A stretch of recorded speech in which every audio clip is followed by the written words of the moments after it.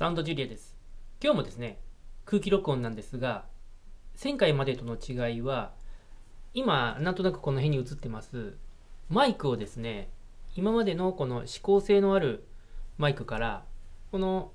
無指向性、測定用にも使えるんですが、フラットな周波数特性の無指向性マイクに変えました。AB セッティングで、えー録音しております。まあ、全体的に音拾いますので、なんていうんですかね、後ろに回って鼻息も拾ってしまうみたいな感じがします。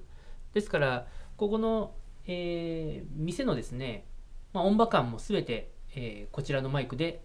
収録されると思います。スピーカーからの距離はですね、4、5メーターあります。今、設置してありますのは、実際の視聴位置に、えー設置してある、そういう感じです。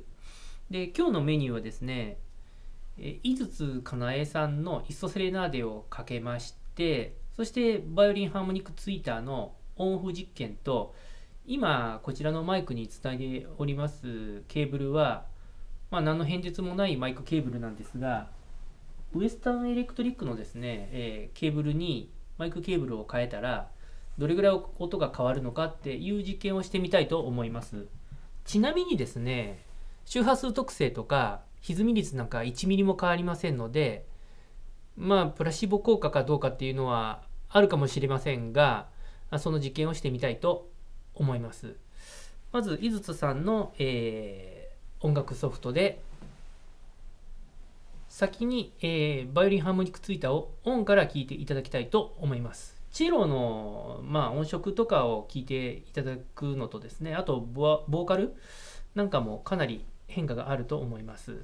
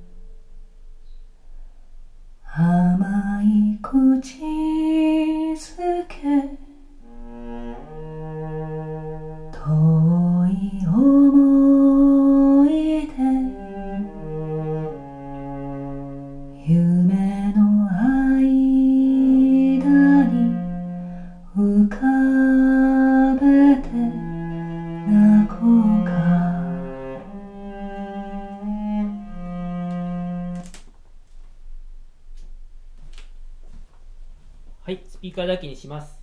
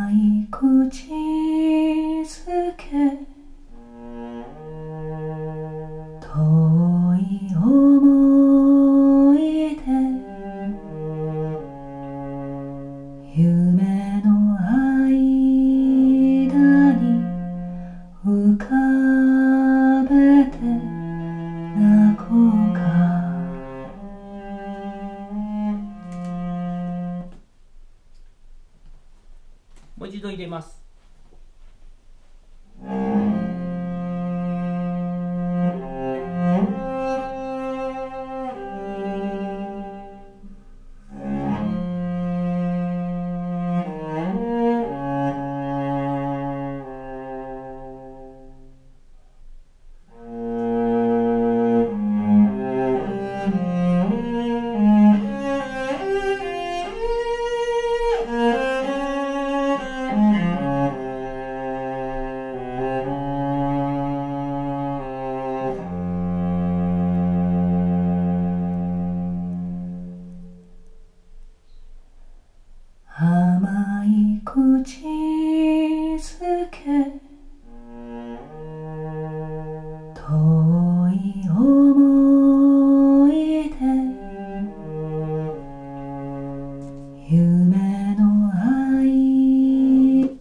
はいここでケーブルをですね、ウエスタンに変えてみたいと思います。ちょっと爆音が出ますので、えーポーズで一回止めて、セッティングしてからもう一度録画を再開します。はい、ウエスタンのケーブルに変えましたので、もう一度聞いてみます。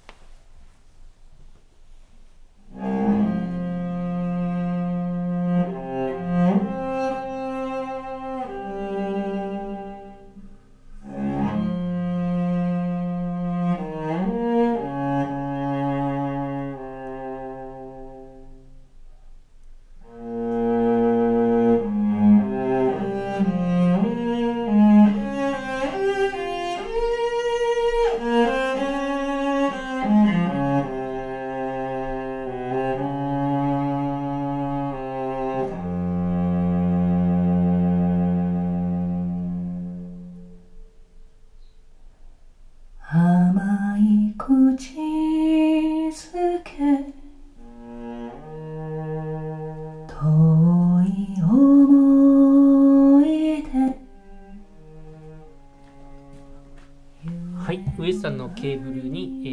ー変えて聞いていただきましたが、いかがでしたでしょうか？えー今回はですね、マイクが違うので、前回とかからはかなり違う音だと思うんですが、まこの環境でですね、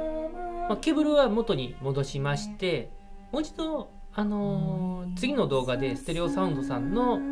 えーレコードをこの無指向性マイクの状態で撮ってみたいと思います。今回は以上です。